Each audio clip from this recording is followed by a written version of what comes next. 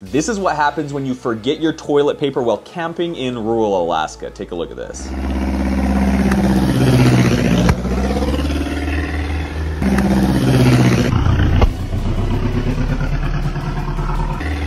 Who do you know that would forget their toilet paper and giveaway instructions in a pinned comment?